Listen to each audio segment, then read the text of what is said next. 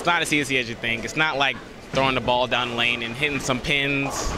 It's actually like technique into it. 36 Buffaloe Lanes Junior Gold Youth Bowlers spend two plus hours on a Saturday preparing to take part in the 2012 North Pointe Junior Gold Championships beginning July 14th in Indianapolis. It's really overwhelming, and I think I'm more nervous for him than he is because it's the you know the experience is um, overwhelming for him as well. He's like you know, he's like trying to make sure that he's uh, critiquing everything that he does, making his adjustments, you know, everything last minute, getting his balls prepared, you know, and just making sure that we have everything in order.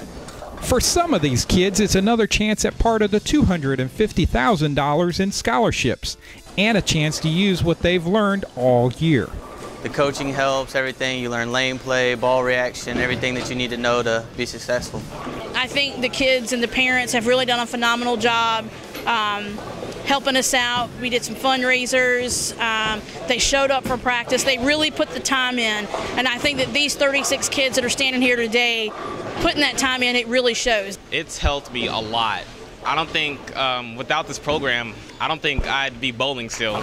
The Buffaloe Lanes Junior Gold program started three years ago by owner Bill Buffaloe continues to grow and provide opportunities for youth bowlers. I am so I'm so appreciative of the coaches and the practices that they've had with Junior Gold. It has been amazing and my son has learned so much because he told me he was like, "Mom, I have learned more than I thought that I ever would learn." Bill Buffaloe runs I would probably say the best program in in the country, in my opinion. I mean, I think uh, I don't I don't think you can put a value on the experience he's gaining from this uh, program. Good luck to everyone as they make the 600 plus mile trek to Indianapolis, and some last minute advice. I mean, I got this advice, but it's making spares.